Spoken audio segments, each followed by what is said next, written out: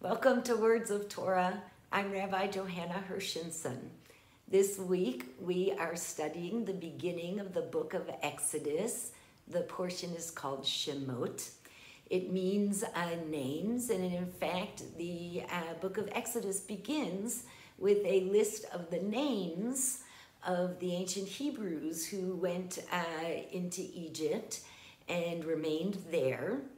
And we learn uh, from rabbinic uh, commentary on the portion that, um, right, because being in Egypt sets the scene for redemption from slavery in Egypt, we learn in rabbinic uh, commentary that redemption is justified or warranted for the ancient Hebrews because of the fact that they kept their names, they kept their language, presumably Hebrew, and they uh, maintained um, their identity in a way that was possible, even though the external conditions on them made it hard. And um, they did it with integrity, um, as honestly as possible, while still surviving uh, the situation at hand. Uh, and yet, uh, in this portion, uh, everything in the story of these ancient Hebrews shifts uh, when we learn a new king arose over Egypt who did not know Joseph. Now, it's uh, very easy to get that um, the new king in Egypt not knowing Joseph is a problem because, right, Joseph saved everybody in the years of famine and was important. And if the new king doesn't know Joseph, doesn't know the history of how these ancient Hebrews arrived in Egypt, uh, he may not treat them kindly or with the uh, mutual respect um, that the previous king uh, treated them. And the Rashi, uh, the commentary on uh, this idea, uh, you know, follows exactly what we immediately assume from the narrative. Rashi says that um, maybe there really is a new king, um, or maybe it's the same king issuing new edicts.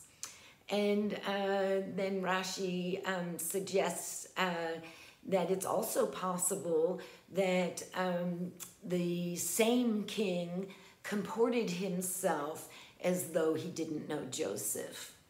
At any rate, whether it's a new king or the same king who suddenly uh, doesn't know Joseph and then immediately views the ancient Hebrews as a threat, um, it really teaches us a lesson about the importance of um, not isolating ourselves uh, in our quest for continuity, uh, but maintaining uh, mutually respectful and useful uh, relations with um, our neighbors. I remember in rabbinical school, uh, Dr. Jacob Rader Marcus uh, taught us uh, in his way, and you have to understand, um, Dr. Marcus came to HUC in the 20s as a student. Uh, he then earned his PhD in Weimar, Germany, and came back to HUC in uh, the later 30s as a um, professor and was a professor of mine in the 1990s. So think about that. He, Dr. Marcus spent 70 years of his life uh, learning and teaching in Hebrew Union College. And uh, he uh, very profoundly uh, said to our class as we were um, finishing our five years uh, at HUC, uh, boys, don't wait until you're in trouble to reach out to your neighbors. And we talked about uh, the importance of uh, knowing the other uh, clergy wherever we served at synagogue. Uh, and he taught us um, that, you know, you have to build honest, genuine friendships. And uh, you have to be there in your neighbor's time of need uh, to build up the kind of trust and uh, mutuality and relationship uh, that your neighbor should have your back in your time of need. And um, you don't want to be in the position of, of, of a victim who reaches out uh, to your neighbors only when you need them. Um, you know, th there's no equality in that.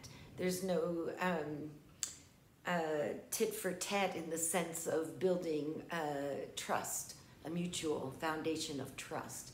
And, um, you know, all we have to do is study the rest of Exodus to find out the consequences of there arising a king who knew not Joseph.